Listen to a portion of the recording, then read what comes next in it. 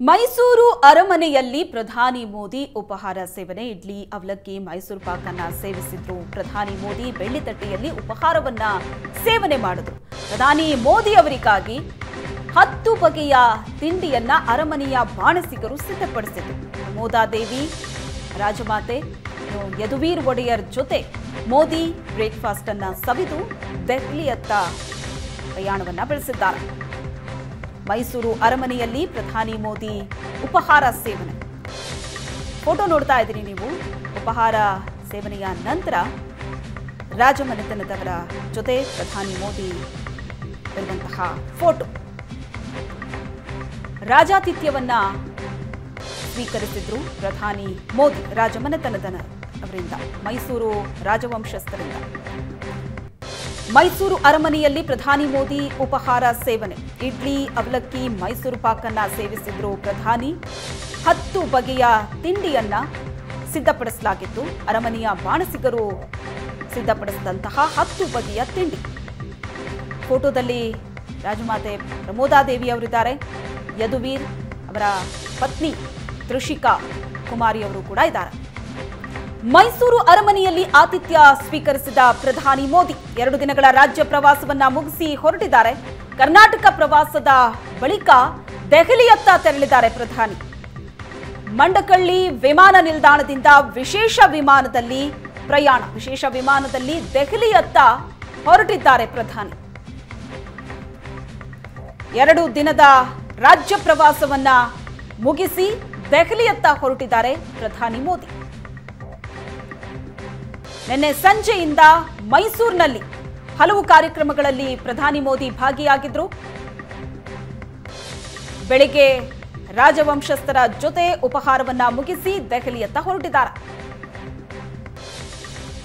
ಈ ಬಗ್ಗೆ ಹೆಚ್ಚಿನ ಡೀಟೇಲ್ಸ್ ಅನ್ನ ಕೊಡ್ತಾರೆ ನಮ್ಮ ಪ್ರತಿನಿಧಿ ರಮೇಶ್ ಸಂಪರ್ಕದಲ್ಲಿದ್ದಾರೆ. ರಮೇಶ್ ಎರಡು ದಿನಗಳ ರಾಜ್ಯ ಪ್ರವಾಸವನ್ನ ಮುಗಿಸಿದ್ದಾರೆ.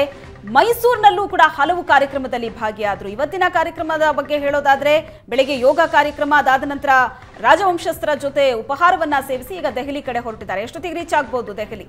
ಸೊ ಸದ್ಯಕ್ಕೆ ಮೈಸೂರಿನ ಪರಿಸ್ಥಿತಿ ಹೇಗಿದೆ?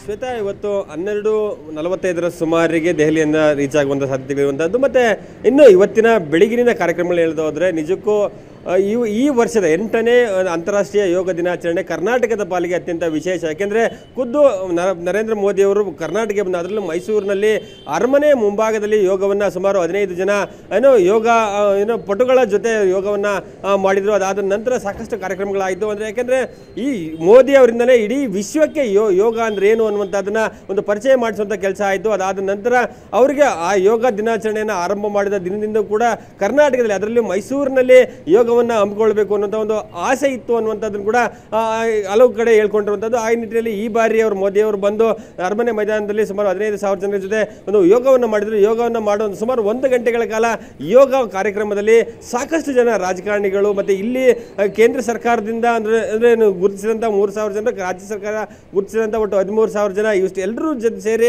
ಒಂದು ಯೋಗವನ್ನು ಮಾಡಿದ್ರು. ಅದಾದ ನಂತರ ಅರಮನೆ ಮುಂಭಾಗದಲ್ಲಿದ್ದಂಥ ಒಂದು ಎಕ್ಸಿಬಿಷನ್ ಸೆಂಟರ್ ಇತ್ತು. ಅದು ಯೋಗ ಡಿಜಿಟಲ್ ಯೋಗ ಎಕ್ಸಿಬಿಷನ್ ಸೆಂಟರ್ ಅನ್ನುವಂಥದ್ದನ್ನೇ ಏನೋ ಅಲ್ಲಿ ಆಯೋಜನೆ ಮಾಡಲಾಗಿತ್ತು. ಅಲ್ಲಿ ಕೂಡ ಸುಮಾರು ಒಂದು ಹದಿನೈದು ಹದಿನೈದರಿಂದ ಇಪ್ಪತ್ತು ನಿಮಿಷಗಳ ಕಾಲ ಮೋದಿ ಅವರು ಕಳೆದ್ರು. ಅಂದರೆ ಅಲ್ಲಿ ಯೋಗಕ್ಕೆ ಸಂಬಂಧಪಟ್ಟಂತೆ, ಏನಂದರೆ ಸ್ಟಾರ್ಟಪ್ ಇಂಡಿಯಾ ಸಂ ಏನು ಸ್ಟಾರ್ಟಪ್ ಇಂಡಿಯಾ ಇದೆ. ಅದರಲ್ಲಿ ಯೋಗಕ್ಕೆ ಸಂಬಂಧಪಟ್ಟಂತೆ ಯಾವೆಲ್ಲ ಸ್ಟಾರ್ಟಪ್ಗಳಾಗಿದೆ ಅದರ ವಿಶೇಷತೆಗಳೇನು? ಯಾಕೆಂದರೆ ಮೋದಿ ಅವರು ಕಳೆದ ಏಳು, ಎಂಟು, ಕಳೆದ ಇದು ಎಂಟನೇ ವರ್ಷ, ಕಳೆದ ಏಳು ವರ್ಷಗಳಿಂದ ಎಲ್ಲೇ ಮೋ ಅಂದರೆ ಯೋಗವನ್ನು ಮಾಡಿದ್ರು. ಆ ಒಂದಷ್ಟು ಫೋಟೋಗಳ ಎಕ್ಸಿಬಿಷನ್ ಆಗಿರ್ಬೋದು, ಯಾವ ಯಾವ ಯೋಗಗಳಿಂದ ಏನೆಲ್ಲ ಒಂದಷ್ಟು ಏನು ಉಪಯುಕ್ತ ಇದೆ ಅನ್ನುವಂಥ ವಿಚಾರಕ್ಕೆ ಸಂಬಂಧಪಟ್ಟಂತೆ ಒಂದಷ್ಟು ಎಕ್ಸಿಬಿಷನ್ ಅಂತ ಆ ಎಕ್ಸಿಬಿಷನಲ್ಲಿ ಅವರು ಪಾಲ್ಗೊಂಡ ನಂತರ ರಾಜಮನೆತನದ, ಏನು, ರಾಜವಂಶದ ಜೊತೆ ಒಂದು ಉಪಹಾರವನ್ನು ಕೂಡ ಅವರು ಸೇವನೆ ಮಾಡುವಂಥದ್ದು ಈ ಒಂದು ಭೇಟಿ ಸಾಕಷ್ಟು ವಿಶೇಷತೆಯನ್ನು ಕೂಡಿದೆ ಯಾಕೆಂದರೆ ಈಗ ಅಂದರೆ ರಾಜ್ಯ ಪ್ರಜಾಪ್ರಭುತ್ವ ಇರುವಂಥ ಸಂದರ್ಭದಲ್ಲಿ ಕೂಡ ಒಂದು ರಾಜಪ್ರಭುತ್ವ ಉಳ್ಕೊಂಡಿದೆ ಅನ್ನುವಂಥದ್ದಾದರೆ ಅದು ಭಾರತ ಇಲ್ಲಿ ಇವತ್ತಿನವರೆಗೂ ಕೂಡ ಒಂದು ಅದರ ಒಂದು ಜೀವಂತಿಕೆಯನ್ನು ಉಳಿಸ್ಕೊಂಡಿದೆ. ಅಂದರೆ ಅದು ಮೈಸೂರಿನ ರಾಜವಂಶರು ಆ ಒಂದು ರಾಜವಂಶಸ್ಥರ ಮನೆಯಲ್ಲಿ ರಾಜಾತಿಥ್ಯವನ್ನು ಸ್ವೀಕಾರ ಮಾಡಿದರೆ ಸುಮಾರು ಹತ್ತು ಬಗೆಯ ತಿಂಡಿ ತಿನಿಸುಗಳಂದರೆ ಅಂದರೆ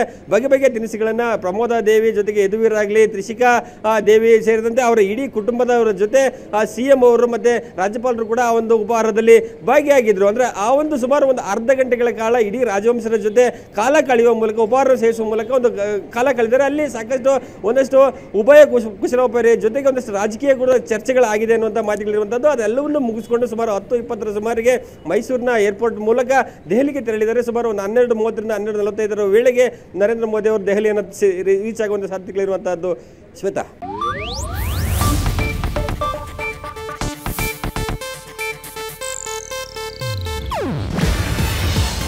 ಏಷ್ಯಾನೆಟ್ ನ್ಯೂಸ್ ನೆಟ್ವರ್ಕ್ ಪ್ರಸ್ತುತಿ. ನೀವು ನೋಡ್ತಿದ್ದೀರಾ ಏಷ್ಯಾನೆಟ್ ಸುವರ್ಣ ನ್ಯೂಸ್.